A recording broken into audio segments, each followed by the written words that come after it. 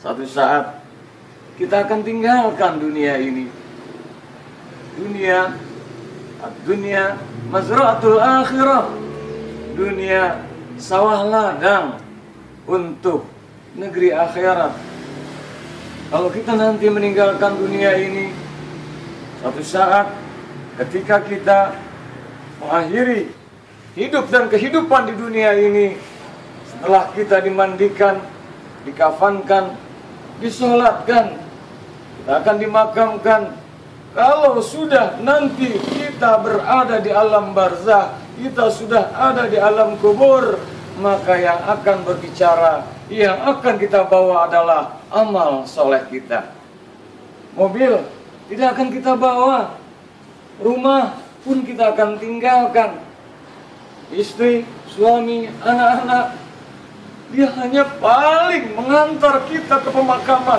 Ketika jasad kita sudah masuk ke liang lahat, maka kala itu tempat tinggal akhir kita hanya liang lahat 2 kali 70 cm saja.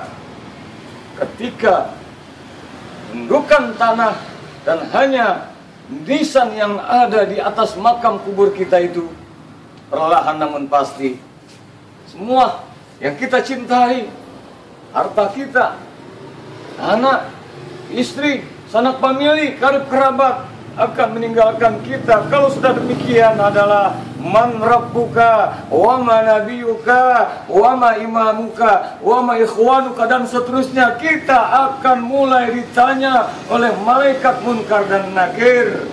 Bersyukur jikalau hidup ini kita banyak beramal saleh, diberikan harta, kita manfaatkan untuk di jalan Allah, diberikan rumah, memang rumah kita gunakan untuk baiki jannati, rumahku surgaku, karena ada rukuk dan sujud, diberikan kesehatan, kita manfaatkan untuk ibadah kepada Allah, diberikan kemudahan-kemudahan, tak lupa kita syukur pada Allah Subhanahu wa taala. Ringkasnya, jangan sampai ajal datang nanti. Karena faman ya'mal mithqala dzarratin khairan yara wa man ya'mal mithqala dzarratin syarran maka bersyukur kita kalau membawa amal-amal kebaikan kita sampai ke alam barzah dan nanti dunia mazraatul akhirah karena dunia adalah sawah ladang yang buahnya kita petik nanti di negeri akhirat. Semogalah kita sadar selagi kita diberi hidup dan kehidupan maka kita harus menjadikan motivasi ayat tadi menginspirasi membuat kita semangat lakukan senantiasa perbuatan baik lakukan senantiasa amal soleh.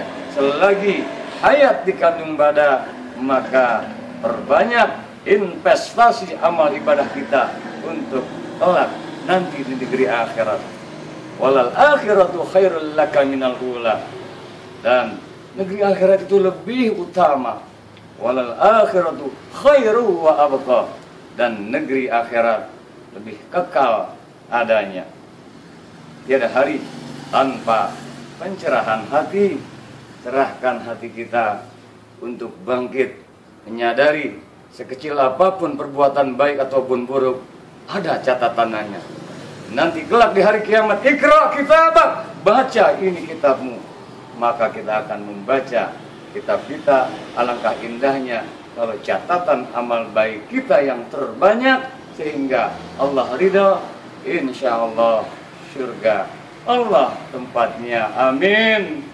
Ya Rabbal Alamin. Allahul muafiq ila aqwamit Assalamualaikum warahmatullahi wabarakatuh.